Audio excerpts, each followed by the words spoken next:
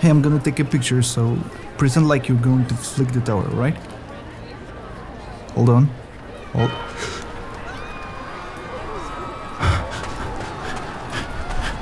Hey guys, thanks for watching. Uh, stay tuned because in a few days I'm going to post full-blown tutorial from start to finish how I did this. Meanwhile, there is a link in the description below where you can sign up and get a free lesson from my upcoming course and I'll see you in a few days right on this channel.